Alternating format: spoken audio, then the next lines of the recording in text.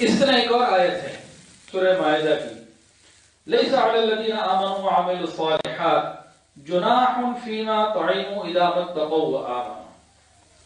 जो लोग ईमान लाए, नेकी पर कारबंद रहे, उन्होंने जो कुछ पहले खाया पिया, यानी जुए की रकम खाई और शराब पी, उसकी वजह से उन पर कोई गुनाह नहीं है। बशर्तिया के वो आइंदा गुनाहों में बचते रहे, ईमान रखें। अब इस आयत में दो चीज़ें हैं। एक तो ये मालूम हो रहा है कि शायद नेक लोगों को शराब और जुए की इजाज़त है। फिर दूसरा ये आयत जहाँ सूर्य वायदा में है इससे बिल्कुल जो पिछली आयत है ना, उसमें जुए और शराब के हराम कर दिया गया कि बिल्कुल नहीं, मुस्तकिल पक्के हराम है, जुआ भी और शराब भी। और साथ ही ये आयत आ गई। तो महसूस ये होता है कि शायद महाज अल्लाह नेक लोगों को कोई गुंजाइश दे दी हुई है। अब फिर वही मसला, अब सबब नजूल की तरफ़ जाए।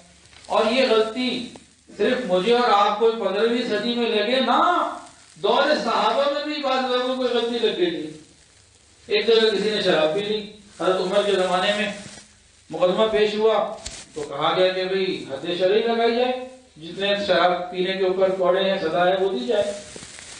तो कुछ लोगों ने आयत पढ़ी कि भाई, ये नेक लोग हैं, नमाज़ पढ़ते हैं, तकवे वाले हैं, गलती हो गई है तो इनके ऊपर तो कुरान की रूह से हद नहीं लगेगी ना।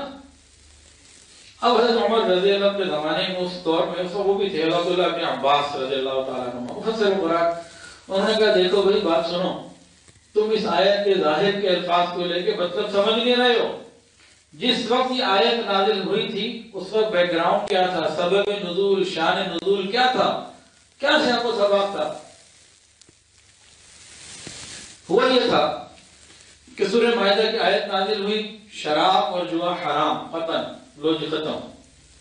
बाद सहाबा ने पूछा, या रसूल सल्लल्लाहु अलैहि वसल्लम, हमारे वो सहाबी, बहन भाई, हमारे वो लोग, जो कुछ अर्सा पहले इंतकाल कर चुके हैं, जिस वक्त शराब हराम नहीं थी तो उनमें से बाद ने पी होगी और उनका इंतकाल हो चुका, आज ये हुक्म आ रहा है, उनका क्या बनेगा? तो उन लोगों के मरहूमीन के बारे में पूछा गया अल्लाह इज़्ज़त ने आयत नाजिल फरमाई कि देखो भाई, वो जो चले गए उस जमाने में हराम नहीं थी। वो अगर ईमान वाले थे और बाकी अहकाम जो उस जमाने में थे, उनको वो पूरा कर रहे थे तो ये तो हमने हराम करार ही नहीं दी थी। इसलिए उनके ऊपर कोई गुनाह नहीं। इसका ये मतलब नहीं है कि आज हम भी इसको कह नहीं, कोई बात नहीं। अब इस आयत को भी पूरी बात को शान नजूल के बगैर नहीं समझ